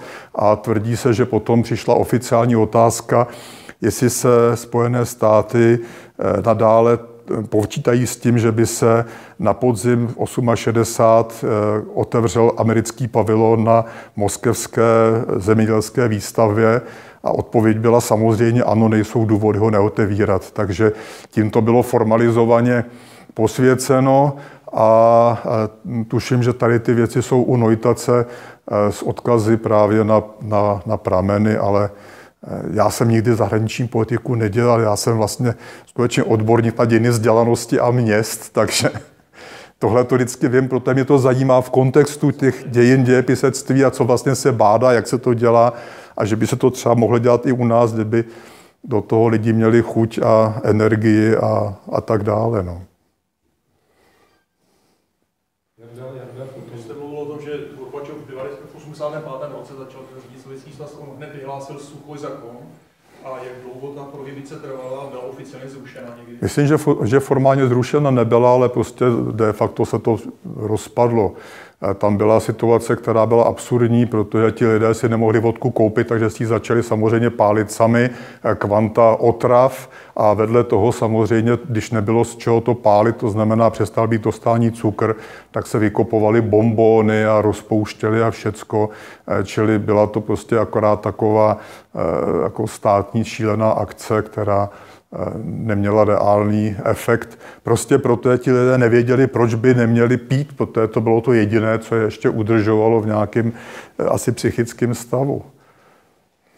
Já jsem během sobotních dnů otevřených dveří navštívil jedno nejmenované přátelské pracoviště v Ústavu fyziky a atmosféry a tam mi dali na výběr z pěti domácích nápojů a ještě jsem Tady to funguje dobře teď, pane Patrik jsem se, já bych se vrátil trošku zpátky ještě.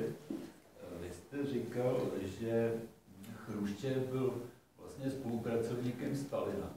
Takže k té strcující kritice Stalina ho vedly nějaký osobní důvody, aby se sám prostě udržel u moci nebo posílil svou pozici? A když Stalin umře, což se dělo za šťastného přihlízení celé té vůči skupiny, který ho nechali těch asi 12 hodin chroptět, až teda dochroptěl, tak se rozhořel boj mezi těmi nástupci, kde vlastně eh, nejvýznamnější byl duel mezi Lavrentiem Beriou kterého historici považují za nejchytřejšího, proto taky to prohrál, a mezi Chruščevem, který ho považují za nejtupějšího, ale za nejagresivnějšího, čili to, pro, čili to vyhrál, takže Laurentí Beria byl potom zatčen a odsouzen k smrti a popraven za špionáž ve prospěch Velké Británie který nikoliv, pro své, nikoliv za své zločiny, ale, ale za, za tuto údajnou věc.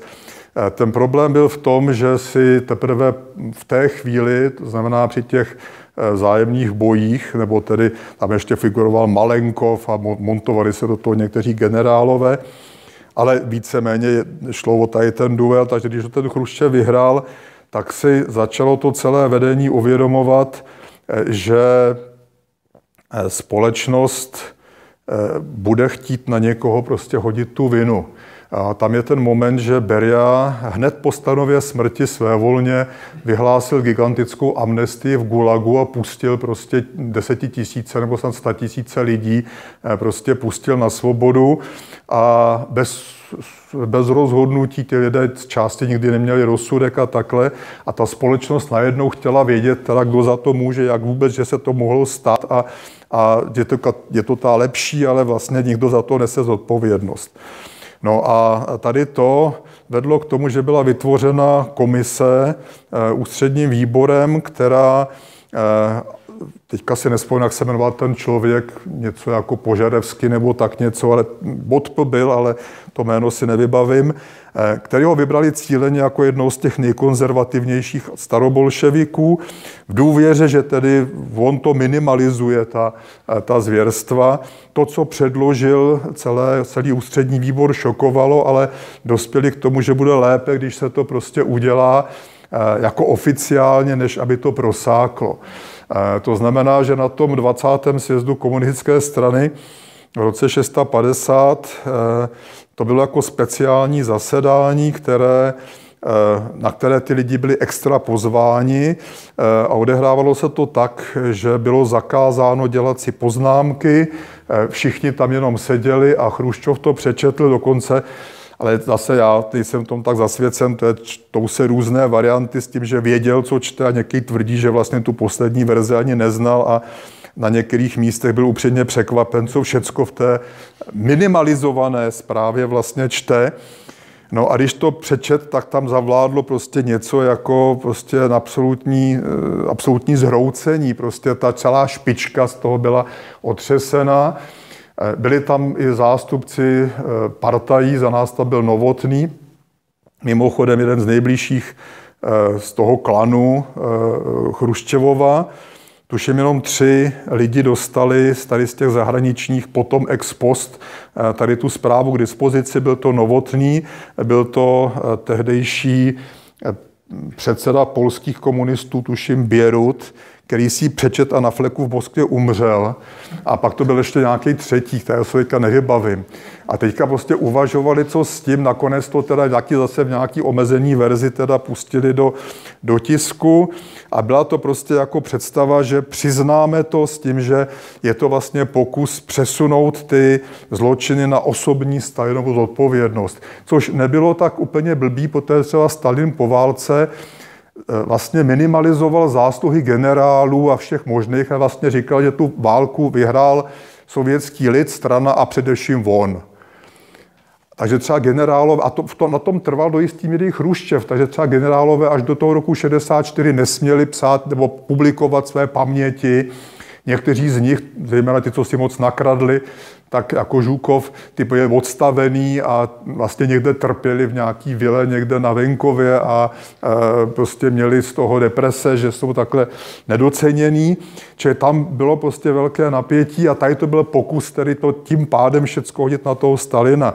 Tohle všecko se potom vlastně uvolňuje až za Brežněva, kdy mimo jiný e, Stalin třeba řekl, že za té války zahynulo 7 milionů sovětských občanů.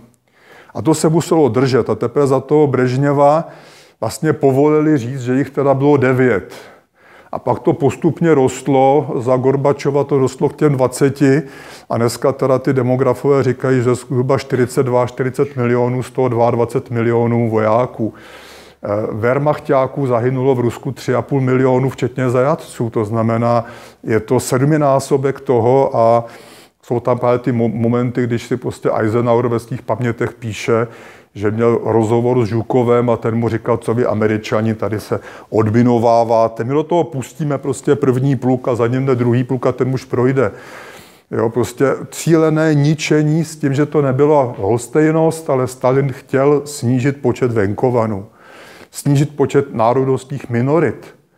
Dneska jsou velké práce, Viktor Denninghaus a další, eh, Bonveč a k tomu vždycky spolupracují s kvantem Rusů, ruských archivářů, kteří zase z toho žijí, že teda na tom jsou to výborné projekty pro ně, aby tedy se drželi nad vodou.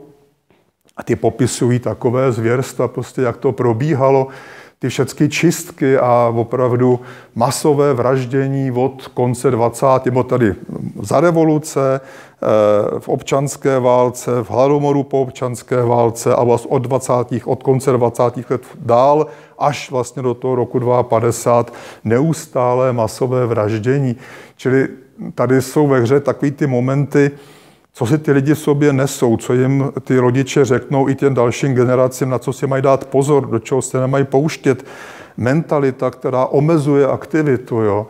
Eh, no a v této konstelaci ten Chruščov opravdu je jeden ze standardních stalinských vrahů. Tam je ten problém, že vzhledem k tomu, že když ho v 64. odstavovali, tak dostal na vybranou, jestli chce umřít, na infarkt, anebo jestli odstoupí. Takže on odstoupil, dostal vilu a tam vlastně potom asi dost šikovně za pomocí syna nadiktoval a z části snad napsal své paměti, což je velký pamflet, ve kterém se vlastně vytáhne úplně ze všeho.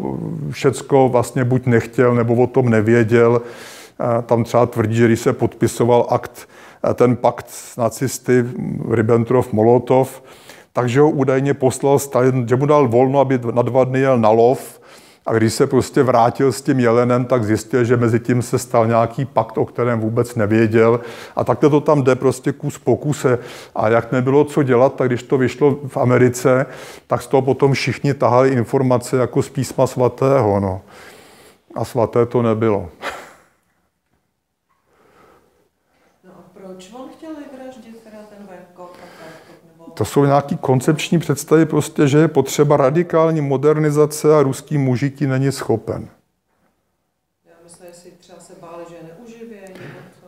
Ne, to je prostě hlubina averze vůči jednak některým národům, to je ta teorie, oni nemají rasovou teorii, ale měli teorii třeba z rácovských národů a z rácovských skupin společnosti. To bych ještě pochopila, ty si naznačila, že to bylo jako plošně, že? Plošně, no. To je prostě snížit počet, prostě snížit počet venkovanů. Jako racionální to není. Když to je prostě do toho pouštěl v tom roce 29, tak mu řekli tehdy ještě vlastně přežívající experti z předrevoluční epochy, že to bude mít gigantický eh, jako dopady, že to je šílený. No tak je nechal zavřít a postřílet a spustil to. Jako tam racionalita Jo, Ale ani to nebylo nějak odůvodněný jako nějakou ideou, jo? Ideje jsou vždycky, těch je vždycky dost, ale jako to je prostě ten moment, když třeba začne ta velká kampaň 35-37, to největší, ten největší teror, tak oni předtím třeba si natahli ze západní Evropy jednak dobrovolníky, levicovou inteligenci, zejména technickou, a jednak si koupili, pronajali si prostě řadu amerických inženýrů a takhle. Oni si je zavřou a, a zastřelej. Ještě já mám dotazy nejdřív ten Honzo, nahlas, já jsem hluchej. Tím tam v konci toho povídání zazněl jeden detail, že od roku 2002, jak jsem dobře slyšel, je dost těžký se dostat k těm reálným datům. Co se stalo v roce 2002, zavřeli archivy, že tam Putin to zase nějak přikázal spozavírat do velké míry. Jako zhruba, zhruba od 92. to bylo otevřeno, to je taková ta zlatokopecká doba, kdy tam že ho, pustí i do toho tajného archivu, ve kterých se najednou objevují věci, o kterých nikdo neví. Třeba se najednou ukázalo, že policejní ředitelství v Teplicích bylo omylem rudou armádou skonfiskováno a odvezeno do Moskvy a že je v tajném stanickém archivu. Tak jako nikdo o něj nepožádal, tak tam je do dneška, že jo, ale tímhle způsobem tam třeba bylo, já nevím, asi dva, kilometru, dva kilometry akt, které skonfiskovali za války Němci francouzské policii, která v meziválečné době soustavně eh, tajná policie šmírovala všechny politické i kulturní emigranty. Eh, což francouzský stát vždycky popíral, že nic takového nebylo a najednou to prostě za Jelcina se objevilo, že ten gigantický archiv je v Moskvě a že si tam každý může jít bádat. Eh, Čili byla to i taková jako exibice, ale zároveň se tím otevřelo teda ohromné množství věcí, které dneska není to stoprocentní uzavření, je to takové nepravidelné uzavření a obchází se to tím, že se prostě dělají projekty, ve kterých potom do těch archivů jdou rusové, a platí to a publikuje to prostě Německo nebo Amerika. A nebo se jde do, do, do provincie, protože ty provinční uh, archivy jsou do velké míry otevřené, tam to nikoho nezajímá, ty místní jsou strašně šťastní, že si slušně přivydělají a popisují prostě vyvražďování ve 30. letech na Altaji a podobně. Je to dost strašné to číst. Já mám druhý dotaz spíš jako k tématu samotnému. Když, když v tom úplném závěru, jako za, na přelomu Gorbačov Jelcin, bylo jasný, že už to jako úplně končí, že už ty prostě Československo, že se to úplně už rozpadá. Tak v, jak, v jakém vztahu k tomuhle byli Američani, kteří to museli celou dobu jako sledovat? A jestli měl, jestli nějak jako naivní moje představa byla, že Bush nebo kdo tenkrát zavolal Mikhailovi a řekne, už se do toho prosím nás nemontujte, nechte to rozpadnout, nebo jestli vůbec oni se zoufale snaží to stabilizovat. Eh, To je opravdu u toho Rádkolba, což je taková malinkatá knížka, eh, velmi dobrá, kde je celá řada citátů, že z toho měli zoufalou hrůzu, protože eh, že tam byly vlastně gigantický jaderný arzenály, které najednou vlastně neměly pevný vedení. To znamená otázka, jestli to někdo ukradne, jestli to někdo omylem odpálí, jestli k něčemu dojde, čili prostě stabilizovat. Eh, To ovládalo velmi intenzivně George Bushe staršího a eh, potřeba mít prostě takového partnera, protože A jakam já to neumím, protože dělám zahraniční politiku a najednou to prostě rozpad Sovětského svazu znamená zhodnocení Číny, Eh, která měla ambice gigantický vlastně už od války ve Větnamu, potom vlastně od toho pokusu dobít Větnam v roce 79, který se jim nepovedl, eh, tam otevřel dveře Nixon do, do té Číny, čili snaha, aby se najednou nepřesunula ta těžiště někam. Hrůza z toho, že kvanta eh, jaderných odborníků, chemických odborníků odejdou do zemí Ázie, do zemí Afriky, nechají se najmout od nějakých gengů, čili Bush a tady ta administrativa se zoufale snažili stabilizovat to, udržet tom nějaký struktury, aby nedošlo k nekontrolované expanzi prostě eh, zbraní násilí. Stejně teda odešly masy, eh, masy ruských vojáků, ruských odborníků do nejrůznějších zemí z části právě těch divokých. No. Čili ty se zoufale snaží to stabilizovat, Zároveň se prostě báli ze stupu Německa, že jo, který z 65 milionů se najednou stalo 82 milionů hegemonem Evropy. Akorát, že tím čas nedošlo, poté si CIA myslela dokonce NDR, že to je prosperující stát, který se nemůže zhroutit a zjistili, že je na tom jak to Rusko.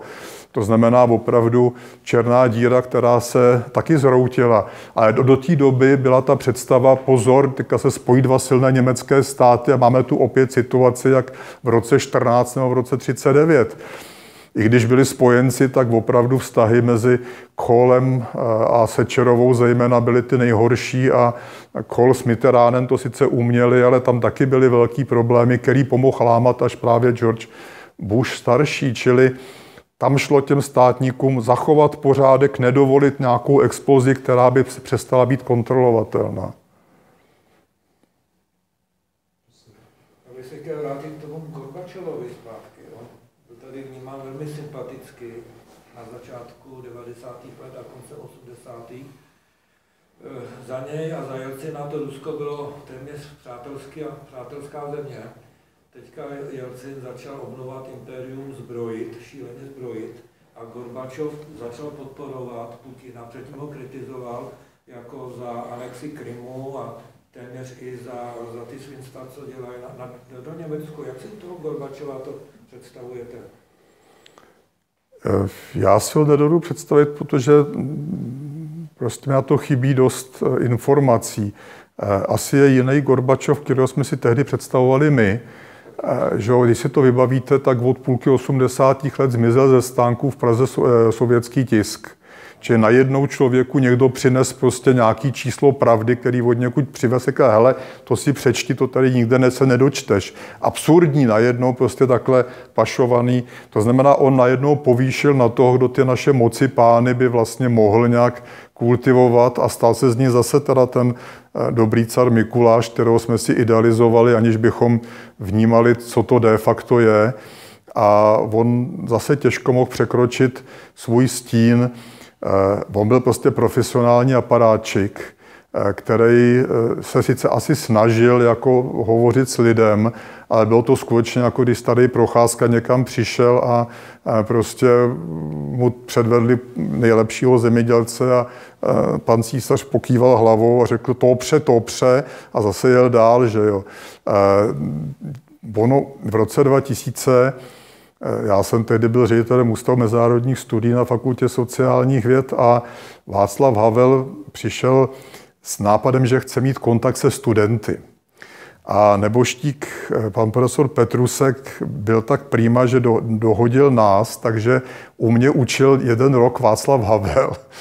Eh, takový smíšený kurz magistersko-doktorantský, kde to nebyly historky z natáčení, ale byly to jeho analýzy, ale prokládaný neuvěřitelně zajímavými, zajímavými postřehy. A on vyprávěl právě, jak jeli vlastně tu první jízdu do Kremlu, Eh, za Gorbačovem se dohodnout vůbec o nějakém modu a říkal, že to bylo prostě strašně těžký, protože on eh, bylo to celý inscenovaný z ruské strany tak, aby se cítil být maličký, čili eh, seděli potom v nějaký polotemné místnosti, takhle koukali prostě z křesel přes nějaký stoly a on seděl na nějakém vyvýšeném místě a takový ty klasické triky.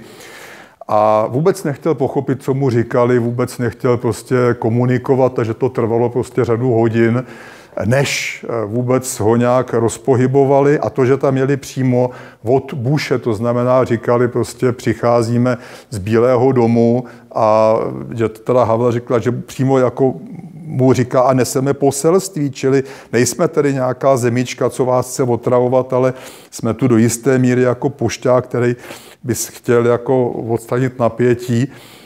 A že prostě to byl problém jednak jako tady toho imperiálního velkomožního cara, který prostě nechápe, proč by se měl s těma lidma na něčem dohadovat, jako nejsou na stejné úrovni.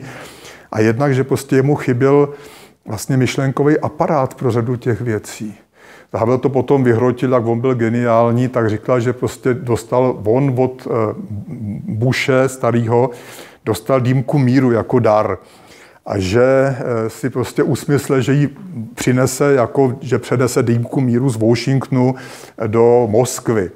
A jenže když začali filcovat a brali jim prostě i propisovačky málem, tak to vypadalo blbě a Eh, nějaký z těch lidí z toho, z té skupiny ho napadlo, že ta dýmka je skládací a rozebral to opravdu, ta propisovačky jim asi nebrali, že z toho byly takovýhle malinký kousíčky, které si všichni dají do kapes, či dýmka zmizela a během těch nekonečných hodin tam zase někdo sestavil dohromady a vybavil, takže Havel potom uchopil dýmku míru a řekl, že od George Bushe mu předává dýmku míru, že prostě končí studená válka, nemá to smysl, že je potřeba jako vykouřit dýmku míru a pak zahrabat tomahavky a že nastalo trapný ticho, protože on nevěděl, o čem to je. On v životě ne, nečet indiánku, neviděl vinetu a to byl prostě výrobek aparátu, který byl úplně, úplně tupej. Jo, a to je ten problém, protože on nechápal, čeho se bojí ty malí lidi, nechápal, o čem hovoří ty ze západu, žil ve svém světě a ten svět eh, mu furt někdo narušoval a eh, ta komunikace tady té ulity s tím zbytkem světa prostě vedla k té katastrofě. A to nebyl on jediný, to byla zjevně prostě tady ta celá ta komunistická věrchuška, asi to platí o řadě dalších států, no, úplně odtržený.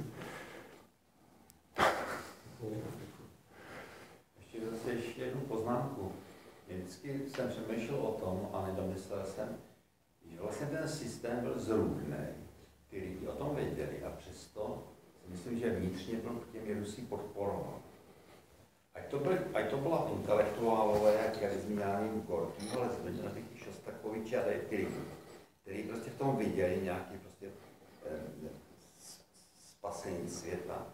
A pak jeden můj osobní zážitek, asi jsem byl v Moskvě, v době, kdy zemřel, kdy zemřel Brežněv. A v tom ústavu fyziky země jsem se tenkrát dopustil úplného faux jsem říkal tam něco takového, jestli, jak, jestli vědí, jak jak, kolik mu bylo let, a říkal jsem, že byl asi starý jako černý uhlí. A to nastalo trapný ticho a poučili mě o tom, že prostě to vědět, že má mít úctu k člověku, jo, eh, který něco pro tu zemi udělal. Jo. A věděli, že jsem z, Čes, že jsem z Prahy, že, že jaký asi vztah k němu mám 68. rok, a přesto to v těch lidech bylo tohle to jsem si nedokázal vysvětlit, nebo jsem vysvětlil příčinu, jestli to bylo tím, ten, že, ten, že ten národ nikdy neprošel něčím jako bylo posvícenství. Tady, tady, ano. Jestli to nejsou důsledky toho. To, taková ta, taková ta velmocenská, eh, prostě mít ten pocit, jsem, jsem součástí tohoto impéria, jo, já ho nesu. No, to, to by bylo na extra přednášku o ruské kultuře a jejich vlastně specifikách a o to, to není evropská, ale skutečně asi euroazijská kultura, už jen tím, že ta ruská, že pravoslaví obecně a ruská verze pravoslaví má úplně jiný vztah eh, k člověku. Že když se vezmete Karlův most, tak tam je eh, to vidění svaté Luitgardy, kde ten Kristus takhle se k ní prostě ohejba, aby ji políbil. No, žádný svatý by to v Rusku tam prostě kouká do bezčasí a ty lidičky jsou mu jedno a car je jeho zástupce. To znamená, to je úplně jiný vztah a zároveň je v tom ale daná ta imperiální eh, přesvědčení, eh, které je právě dáno, že tedy vlastně, ať se děje cokoliv, stalo se tak dobře ve jménu Ruska. Vy jste jmenoval Gorkého a Šostakoviče, to je myslím úplně ideální pár, aby se tady ty momenty ukázaly. Gorký je klasický typ e, literárního génia, který se stoprocentně nechá skorumpovat, možná strachem znamená na jedné straně, že ho skutečně vynikající spisovatel, který potom píše prostě epoche, epochální chválu na to, jak se staví Bělomořsko-Baltský kanál, kde teda zahynulo, já nevím kolik desítek tisíc těch heftlingů, a prostě on na to píše prostě ódu, jaká je to prostě nádherná věc. A evidentně se až do konce života prostě bojí o, asi i o ten život a, a samozřejmě i o teda svůj sociální statut. U toho Šostakoviče je to ještě vypjatější o to, eh, že eh, ten byl skutečně geniální muzikant a věděl, že část té muziky je absolutně nestravitelná. Já jsem kdysi byl na nějaké konferenci v Heidelbergu, kde eh, jedna muzikoložka analyzovala vlastně katastrofu s jeho 12. symfonií, která vlastně je na oslavu vítězství a kterou prostě politbyro probíralo a došlo k tomu, že to je prostě absolutně zavržení hodný a že prostě jako všecko nic, takže potom on zoufale hledal, kdo to udělá. Nakonec se našli lidi, co to teda zahráli a odspívali někde snad v Charkivě s tím, že ty lidi prohlásili, že eh, jako jim stojí za to jít do lágru, za to, že si tady to zaspívají jednou. A ten se prostě furt bál, a to je doložený, že se skutečně bál denně, že ho prostě zatknou a zároveň měl prostě v sobě eh, prostě tu geniálního muzikanta. Eh, já jsem neznal jeho eh, kvartety pro, tady jeho koncerty pro violončelo a, a orchestr. A pak se mi stalo, že jsem že jsem jednou slyšel v Krakově prostě, kde Symfonia Varsovita to prostě dávala s Alice Eldridge jako solistkou a to je prostě free jazz. Eh, to je prostě muzika, která je velikánská a on to nahrával s nějakým kamarádem, zvukařem, protože prostě to chtěl slyšet aspoň teda ten solový part, a eh, ty nahrávky na velkých kotoučích dávali do jakéhosi takového pódia, který tam prostě zůstalo a ten zvukař to přežil. A jediný to věděl, že to tam existuje, takže to vykopali v 90. letech, vyšlo to potom prostě na západě a je to prostě velikánská muzika, čili je to ten rozpor toho člověka, který opravdu ví, že musí sloužit, protože eh, jinak eh, prostě ho zavřou, zastřelej, vyvraždějí mu rodinu a napíše takový hrůzy, jako je Leningradská symfonie a vedle toho prostě není schopný zdorovat té muzice, která z něj potřebuje jít ven a jednak ji napíše a jednak si ji aspoň jednou sám zahraje na, na ten pásek. Čili tohle to je problém ruské inteligence. A jak z toho, to je prostě, to je mentalita, to je kultura a zase, kdo u nás dělá pořádně dějiny kultury Ruska ve 20. století, to prostě eh, se vůbec nedělá, a nebo se jenom opisuje to, co vyjde venku. No. Já jsem odborník na Německo, či já to taky neumím.